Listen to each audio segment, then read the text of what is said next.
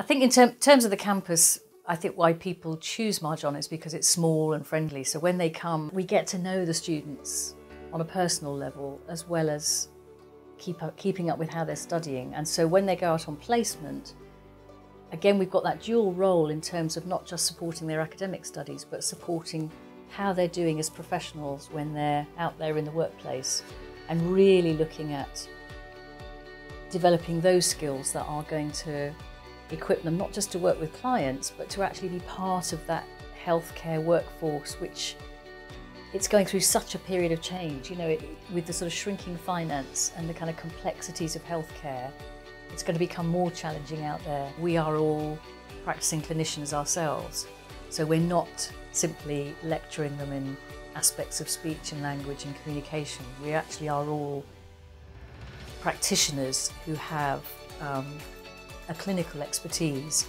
It's a really small course, so we get to socialise quite a lot together. The teachers are really specialist and they're so friendly. No one's too professional to speak to you. Everyone wants to give you all of their time, all of their help, so they, that you end up as, as good as they are. There's loads of variation with it, from dealing with people who have had strokes to traumatic brain injury to little children with cleft palates. So very varied.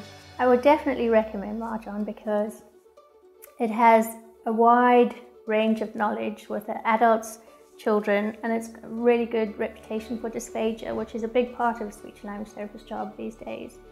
Our little year group, you know, we all really gelled and got on well because it didn't matter about age, you were all in the same boat.